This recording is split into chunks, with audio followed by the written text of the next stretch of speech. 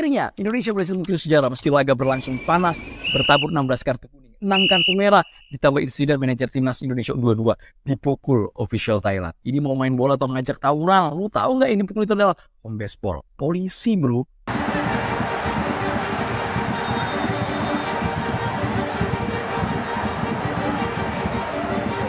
Tapi ya udahlah, kita maafkan, jangan dibully akun akun pemain Thailand.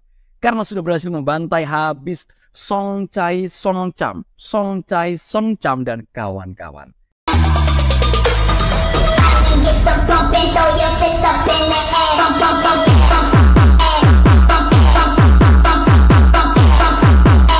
Selamat untuk Coach Indra Safri yang kembali menambah prestasi bahwa timnas juara FF U19, juara FF U22, dan sekarang masih game setelah puasa gelar 32 tahun.